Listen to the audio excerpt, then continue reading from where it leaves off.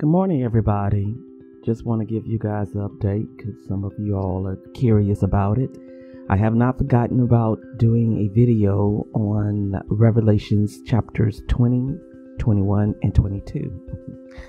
As I explained in a post that I posted this week about something else, I only do things according to the timing that God puts in my heart.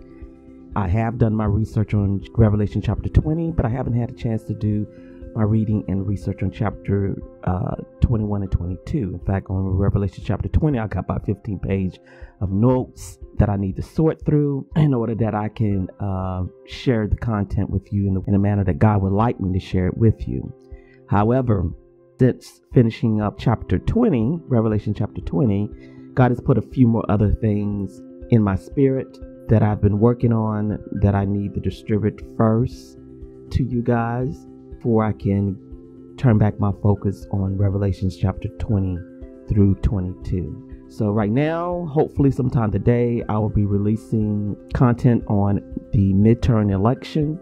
And then I have a few other things that I need to work on. And then, like I said, I will turn my attention back to those chapters that we talk about. So, this gives you guys plenty of time to read through those chapters and really do your research when you come across terms that you're not familiar with, look them up, but look them up from a Hebrew perspective and not a Western perspective, as I explained before in one of my other posts uh, to you guys. When we read the Bible, if we interpret it from a Western standpoint, we've already missed the interpretation of the scriptures. We must read our holy scriptures and understand it from a Hebrew or Eastern perspective.